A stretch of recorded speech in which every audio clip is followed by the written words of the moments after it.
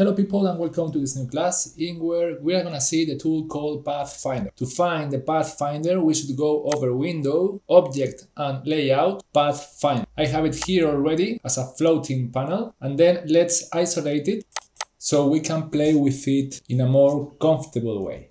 As you can see the Pathfinder menu has different categories. Paths, Pathfinder, Convert Shape, and Convert Point. Every single category has different features. Not all features are equally important, so I will try to highlight here the most remarkable ones. In the first category, called Paths, the first option maybe is the more important. It is called Join Path, and if we read the label, it is said connects two endpoints. So let's draw firstly two paths, one here stroke 10 and let's draw another independent path on here, stroke 5. Selection tool, we select both paths and then we hit the tool Join Paths. As you can see, the tool has joined both paths through another new path and the stroke of this new path has been the thickest one. So this tool is kind of useful Imagine now that we want to close this path. Once selected, we hit the tool again and now we have a closed shape, right? Easy. Next tools are as well very easy to use. Next one is called Open Path. The description says opens a closed path. Let's use, for example, this shape we have right now on the page. It is already a closed path. So once selected, if we hit it, it seems that nothing happened. But if we look carefully to the anchor points, there is a new anchor point in the lower left corner in blue color. This means that something happened here. Actually, the closed path was broken. And this means that we have here an open shape. The direct selection tool is already hit. So if I click on this anchor point and I move it, we can check how we have broken up the closed path. Once this shape is open and it is selected, we could use as well this third option, closed path. One click on it and our shape is again closed. Easy. Let's use now the third option. It is called reverse path. The label says changes the direction of a path. This tool can be used when we have, for example, an arrow, one arrow like this, for instance, and then we hit the tool and we are changing the direction of the path, right? Easy. Let's jump to the next category called Pathfinder. In my opinion, without any doubt, this category is the most important one in this menu because it allows us to create new shapes by simple operations as adding shapes, subtracting shapes, intersecting shapes, etc. etc. Let's see how it works. I will draw here a cycle in magenta color and one rectangle just defined by the stroke. When we are working with the Pathfinder, it is important to know which entity is in front and which entity is behind. In this example on this page, the rectangle is in front, right? So let's keep that in mind.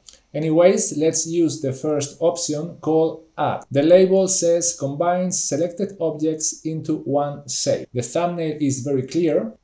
So we have just to select both items and hit the tool. And here we are. We have just one shape with the properties of the entity that was placed in the top position. In this case, the rectangle just defined by the stroke. Control Z, one step back, and then let's do the same, but this time I will select first the cycle, right click, arrange, bring to front. Now the cycle is placed in the top. If I repeat the same operation by selecting both items and click on add, as you can see now, the result is a new shape, but this time with the properties of the cycle. One step back, Control Z, and Let's use the second tool called Subtract. As you can see in all the thumbnails, the element with the fill is the one which is gonna remain after the operation. So this time the cycle is gonna subtract part of the rectangle, right? Let's do it. I select both items, one click on subtract and here we are. Control Z. Third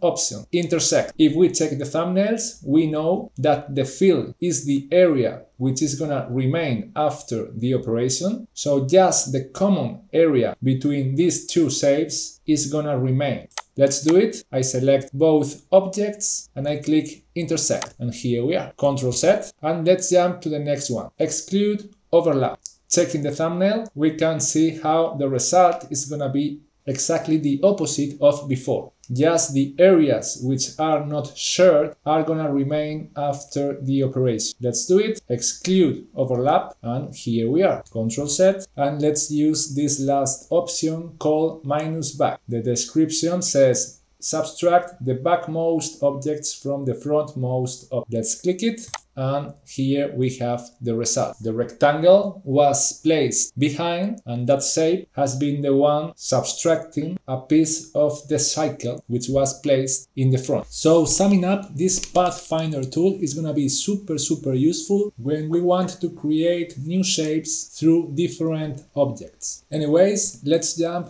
to the next category called convert shape. Again, the thumbnail gives us a big clue about what is going to happen. We can see different shapes converted into a rectangle, into a rounded rectangle, into a beveled rectangle, etc, etc. So we have just to select our shape and then click on our desired new shape. In this case, the first option is a rectangle. I hit it and then we have a rectangle. If I continue hitting the different tools, now is a rounded rectangle or if I hit this option, corners have been cut. Let's continue exploring the different shapes we can even convert the shape into an ellipse or a triangle, a polygon, etc. etc. This polygon actually is not a polygon, it's a kind of a star. And this is because if I go to the polygon tool, is here, and I click it twice, I open the polygon settings menu, and then here the settings are number of sides 7, star inset 70%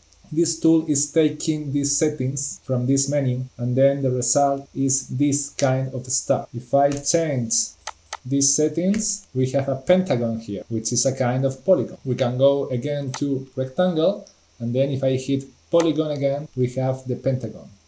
Going back to the rectangle, take in mind that all of these transformations are basically the same as if we use this little yellow box. Remember when I hit it, it gets multiplied and goes to the corners and then, and then if I hit and drag, I start making transformation into my geometry. Furthermore, if I hold down Alt key and I hit the yellow box, we have different shapes of our geometry. This tool of the Pathfinder is working with the same pattern. Let's finish the class exploring the last category called Convert Point. Thanks to this tool, we will be able to change corner points into soft points and soft points into corner points. Example, I hit the direct selection tool, shortcut A key. I select this anchor point holding down shift key. Once my anchor point is in blue color, it means it is selected. Then I hit this third option, smooth. The anchor point now is a soft anchor point. If I want to do the reverse operation, then once the curve anchor point is selected, I just have to hit one of these two first guys. One click on the first one and then my anchor point is again a corner anchor point. There is not a big difference between the first two and the third and the fourth. The first two are gonna convert soft points into corner points and the third and the fourth one are gonna convert soft points into corner points. Remember anyways that you can do the same using the pen tool. If I click and hold, here we can add anchor points, delete anchor points, and then we have this fourth tool called convert direction point tool. If I hit it and I click on this guy, I click and drag, then the corner point right now has been transformed into a soft point. If I hit again using the same tool, then it becomes a corner point again. So we have already an overview of this Pathfinder tool. We will use it in the future with more specific exercises. Time to say goodbye and I hope to see you in the next episode.